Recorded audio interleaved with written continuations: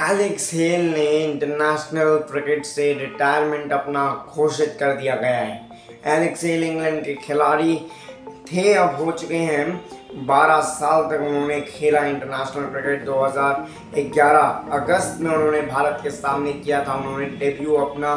उन्होंने 75 T twenty आई मुकाबले खेले 70 ओडीआई मुकाबले और 11 टेस्ट इंग्लैंड के लिए उन्होंने खेला।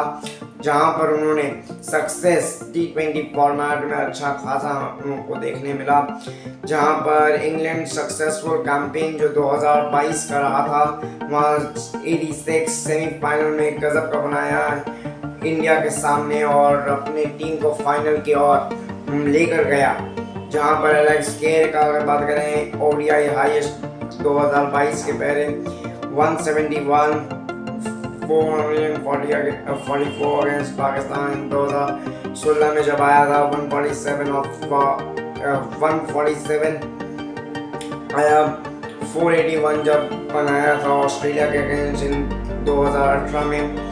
इन्होंने अच्छा काम किया इनका जो करियर रहा एलेक्स खेल्स एलेक्स हेल्स का।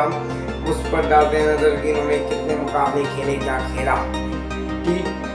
टी ट्वेंटी आई में जहाँ पर उन्होंने बनाया दो हज़ार से ऊपर रन, ओडीआई में भी 2000 से ऊपर रन और टेस्ट में 573 रन उन्होंने बनाया।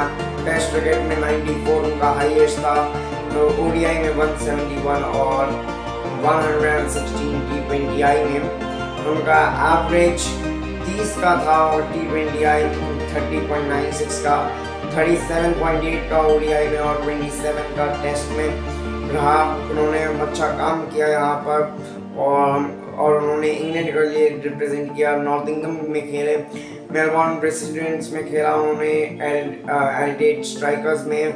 वेस्टर, उन्होंने मुंबई इंडियंस के लिए आईपीएल में खेला उन्होंने। टीम आबू धाबी के लिए खेला।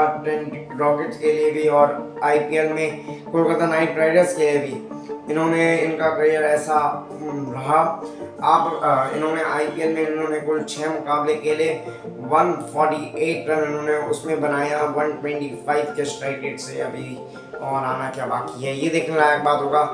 आप अभी देख रहे हैं क्रिकेट वितारमन वितारमन को अगर आपको वीडियोस लगा तो लाइक से सब्सक्राइब करना ना भूलें। धन्यवाद।